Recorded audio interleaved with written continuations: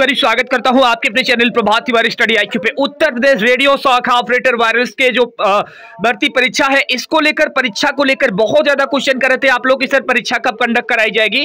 तो मैं वीडियो इसलिए बना रहा था क्योंकि कोई न्यूज़ नहीं आ रही थी और आ, कोई भी भर्ती बोर्ड की तरफ़ से अपडेट नहीं मिल रहा था। तो यहाँ पर इसके बारे में चर्चा करेंगे जो न्यूज़ आई है उससे पहले रिक्वेस्ट करना चाहूँगा कि अगर आप लोग चैनल पर पहली बार विज़िट करें तो प्लीज़ चैनल को सब्सक्राइब करें क्योंकि प्रभात तिवारी स्टडी आईक्यू के माध्यम से सबसे कम समय में सबसे सही एवं सटीक अपडेट दिया जाता है। ठीक है? चलिए सबसे पहले दोस्तों, इस न्यूज़ को हम लोग देख लेते हैं। यहाँ पर बताया गया है, उत्तर प्रदेश शाखा रेडियो ऑपरेटर वायरलेस परीक्षा चार और पाँच मार्च को सभी पचहत्तर जिलों में दोस्तों यहाँ पर परीक्षा कराई जाएगी, ठीक है?